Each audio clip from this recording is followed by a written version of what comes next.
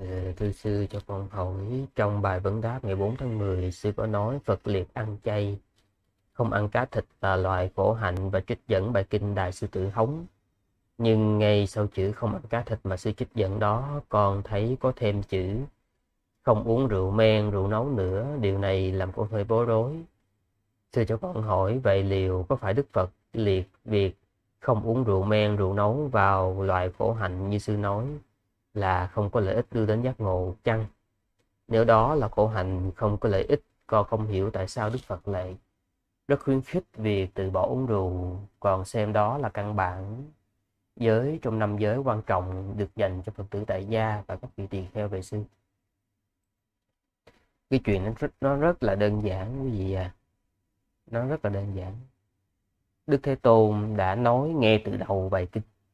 Nghe từ đầu bài kinh là ngài không có phỉ bán ngài không có bài xích ngài không có chỉ trích những người thực hành khổ hạnh. Bởi vì đó, bằng cái thiên nhãn siêu nhân ngài thấy có những chúng sanh họ thực hành khổ hạnh đi địa ngục.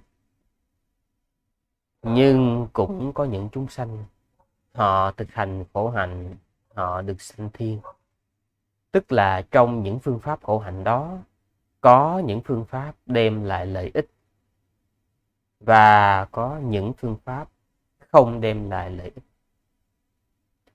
Như vậy đó, trong những phương pháp mà những cái vị khổ hạnh họ sử dụng, phương pháp nào là đem lại lợi ích? Đó là những phương pháp được đức thế tôn khuyến khích hàng cư sĩ tại gia và hàng à, tu sĩ áp dụng đó là gì? Thứ nhất không uống rượu men rượu nóng tức là không uống rượu. Phương pháp đó đúng là các vị khổ hạnh họ có thực hiện nhưng đức phật đồng ý cái phương pháp này đem lại lợi ích. Cái thứ hai là không ăn phi thời phương pháp này cũng nằm trong các cái phương pháp khổ hạnh và đức phật đồng ý rằng phương pháp này đem lại lợi ích.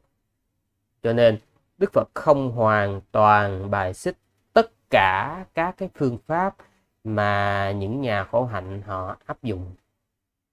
Nhưng mà đức phật chỉ chấp nhận một vài ở trong đó thôi.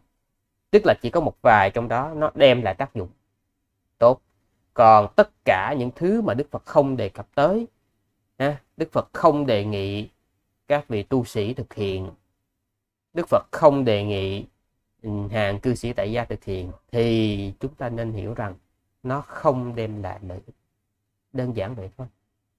Ờ, chứ còn đừng có nghĩ mình chúng ta có thói quen đó quơ đủ cả nắm. Một là chấp nhận hết. Hai là bài xích hết. Nó không nên. Ừ một số cái có ích, thì đức phật đồng ý giữ lại mình xài một số cái không có lợi ích, đức phật không kêu mình giữ lại thì bỏ, đừng có sử dụng ừ.